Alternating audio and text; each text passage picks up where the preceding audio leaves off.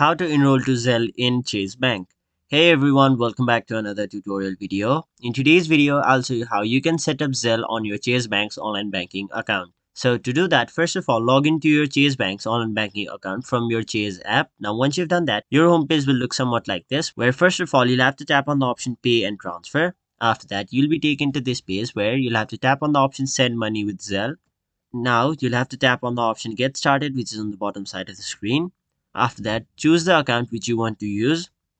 For now, I'll simply choose my personal checking account. Now, once you've done that, simply tap on the option Add Email or Mobile Number. Now, for this example, I'll simply choose my mobile number. And even if you choose your email address, it is the same. All you have to do is enter your mobile number or your email address over here. After that, tap on the option Next. Now they will send a verification code to either your phone number or your email address. So simply enter it over here and then tap on the option next and there you have it. That is basically how you enroll to Zelle on your Chase Bank. That was it for this video. Hope this video was helpful to you guys and if it was make sure you like this video and subscribe to our channel so that you don't miss out on further videos such as these.